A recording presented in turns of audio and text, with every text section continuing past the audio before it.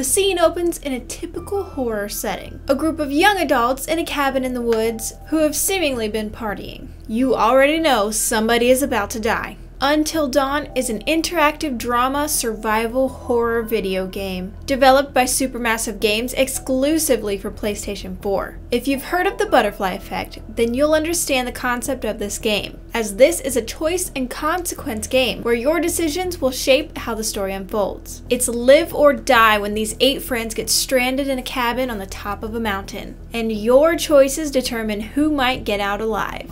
Until Dawn is unlike most game playthroughs because it's designed for you to play multiple times because you won't be able to see all of the content in just one playthrough. Each time you play, it'll take about 9 hours. So you better make sure that you've got plenty of time to dedicate to seeing all of the storylines in this game. Like, a lot of time. Because the developers said that there's hundreds of different endings.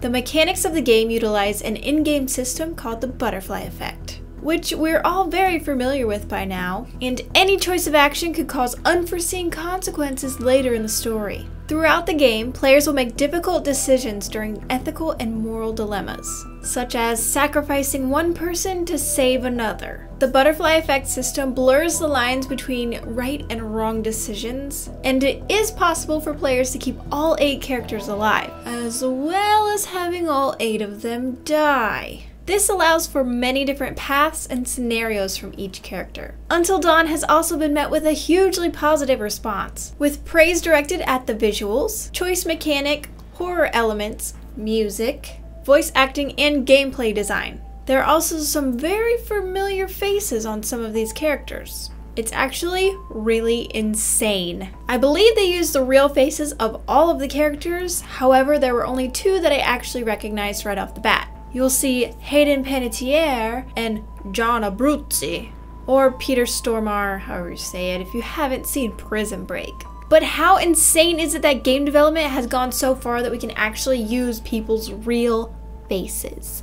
I'm not going to spoil anything in the storyline, so if you have a PlayStation 4, I definitely recommend you pick up this game and start playing. Or if you're like me and you don't have a PlayStation 4, go on YouTube and watch a really awesome person like Markiplier go and play this game. I may have watched him play this game for three hours today. Just kind of happened. I hope you guys enjoyed today's spooky first impression. Leave a thumbs up if you did.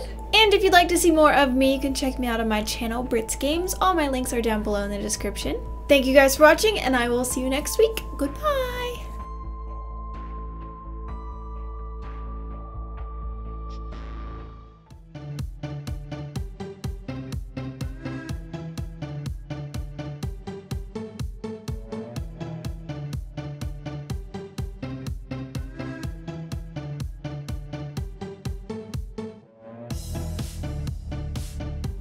Impulse is produced by the Freedom Network. Ever wanted to earn revenue from your videos? Freedom offers a great partnership program which includes access to hundreds of thousands of audio tracks, sponsorships with great partners, and most importantly, a no lock-in contract. You can leave at any time for any reason. We accept everyone, both big and small. For more information, click here or visit the link in the video description.